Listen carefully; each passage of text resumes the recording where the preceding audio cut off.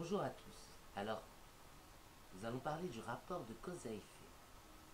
Alors en fait, ce que, je tiens pour rapport de cause à effet, c'est le comportement humain qui crée un lien de cause à effet entre les personnes.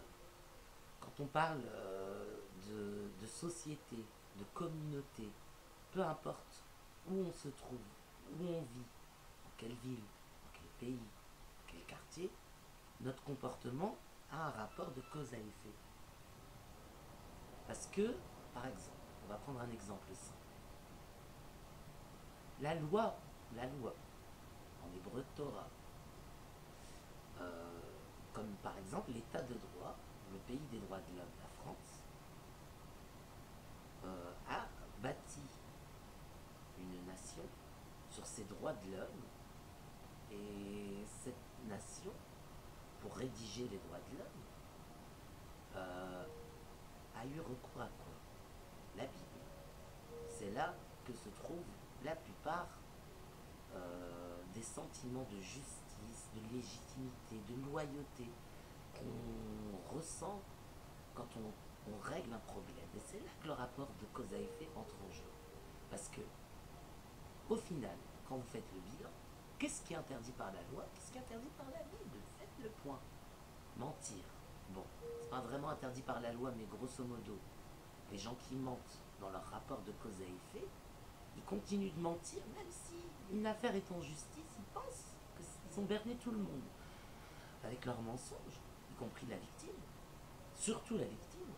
Mais en justice, hmm, quand vous mentez, vous n'avez plus d'aide juridictionnelle, par exemple. C'est un exemple. Voler, la Bible aussi n'aime pas ce, le vol. C'est un délit. Tuer, c'est un crime. Euh, L'inceste, l'adultère, tout ça, ce sont des choses qui sont interdites par la loi. Euh, euh, Qu'est-ce qu'on peut dire d'autre? Il y a plein de choses, en fait, grosso modo. Pareillement,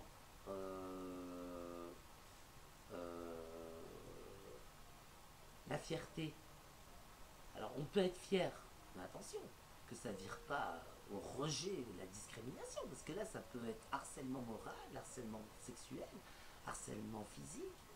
Attention, c'est des sentiments à ne pas cultiver, tout ce qu'interdit la vie. Et c'est pour ça que je parle de rapport de cause à effet. Parce que quand intervient la loi des hommes, là, vous êtes pris. Parce que Dieu, bien sûr, vous ne le voyez pas, hein, vous ne le voyez pas, mais il vous voit, il vous voit. Euh, entend, il voit ce que vous faites, et il fait son plan comme d'habitude peu importe ce que vous dites ou faites, il continue son plan, bien sûr. Ça, vous l'avez bien compris la plupart du temps. Euh, les gens qui aiment bien euh, cultiver des sentiments négatifs ont bien compris que Dieu nous voyait, nous voyait mais qu'il avait des choses à faire. Oui, il a des choses à faire et on fait partie de ces choses. On fait partie des choses qu'il a à faire, nous accomplir. Là, on est sur une chaîne, on a parlé beaucoup de spiritualité, de religion. On a appris à éveiller son esprit, à, être plus fort par la prière, à être plus fort. C'est le but, en tout cas, si, ça n'a pas été perçu comme ça. Le but est d'être plus fort par la prière. Voilà le but de, cet enseignement général, d'être fort, d'être fort dans la vie, parce que la vie est dure. On sait qu'on est dans un monde difficile, la, la, société est de plus en plus compliquée, le monde devient de plus en plus complexe. Euh, plus on a de connaissances, plus c'est complexe. Et donc après, vous devez être vraiment un génie, vraiment, pour euh, arriver à un niveau moyen maintenant. C'est un peu comme ça que la société a évolué. Alors autant il y a des spiritualités qui sont perçues comme euh, euh,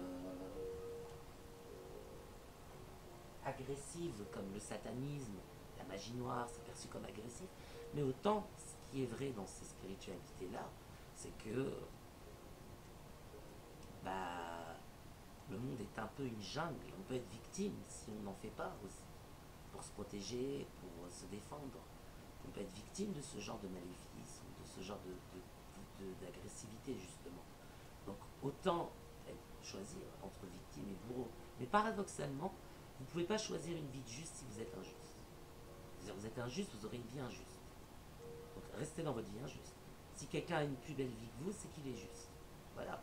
Et pareil, paradoxalement, pareillement pour la personne qui est juste. Elle est juste, elle aura une vie juste.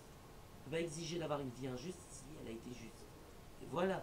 Et donc, la magie, tout ça, bah, la Bible, elle l'interdit. Mais pourquoi la loi ne l'interdit pas ça? Pourquoi ça? Parce que honnêtement, hein, n'importe quel euh, docteur en loi pourrait l'avouer, hein, pas, le, remarquer, l'avouer, parce qu'il l'a probablement remarqué. N'importe quel docteur en loi religieuse peut vous dire ces passages sont pas en hébreu biblique, ils sont en hébreu moderne. Pareillement pour le Coran, ils sont en arabe moderne, ils ne sont pas en arabe coranique. Euh, et voilà. Donc, restez objectif, quoi qu'il se passe, mais vous savez que nous vivons dans un monde où la subjectivité est, est une loi naturelle.